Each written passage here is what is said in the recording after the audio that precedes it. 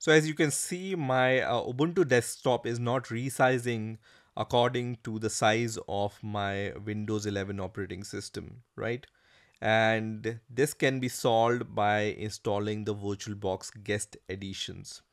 So to install the VirtualBox guest additions, first you need to run these two commands in your terminal. I'm going to put these two commands in the description of this video so you can directly run these two commands and then you can install the VirtualBox guest additions on your Ubuntu operating system. So the first command is sudo apt update. So just open your terminal. You can open the terminal by clicking on this icon here and then search for the terminal option and then launch the terminal and then you just need to paste this command which is sudo apt update and then press enter and provide your Ubuntu's password which you have given at the time of installation of Ubuntu. I'm going to provide that password and then press enter here which is going to uh, finish this command and then the next command will be this command. This command will also be present in the description of this video and I'm going to just paste this command and then press enter which is going to uh, give me this kind of prompt which says do you want to continue? I will press Y and then press enter. And it's going to install these tools which I have provided uh, using this command. So I'm going to install build essentials dkms and then linux headers using this command right?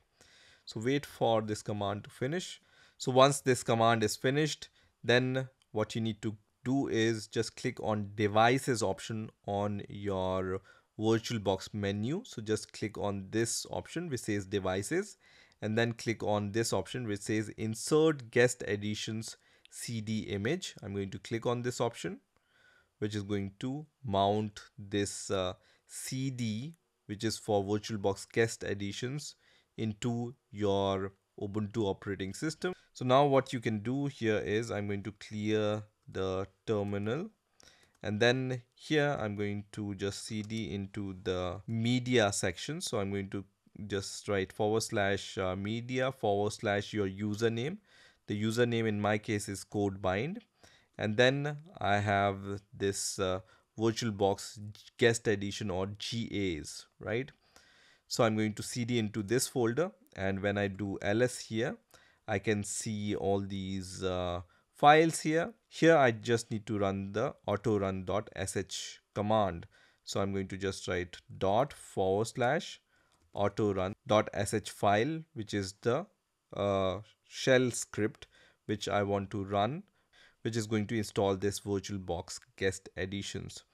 So at this point I'm going to press uh, enter here and here just give your Ubuntu's password and then press enter once again and it will start the installation of VirtualBox guest additions on your VirtualBox and after some time you can see this message which says press return to close this window so I'm going to just press enter key on my keyboard and then I just need to restart my Ubuntu operating system.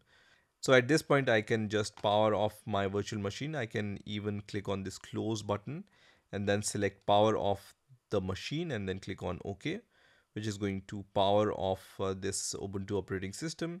And once that's done I can restart my Ubuntu operating system by selecting the virtual machine and then click on start here. And this time when my uh, Ubuntu operating system starts and when I just give my password here and then when I log into my Ubuntu operating system I can see when I resize my uh, window for my uh, Ubuntu operating system. The desktop size resizes according to the size of my Windows operating system. So when I maximize it, you can see I can see the full screen in my Ubuntu operating system. So in this way, I can use the Ubuntu full screen using VirtualBox on my host machine.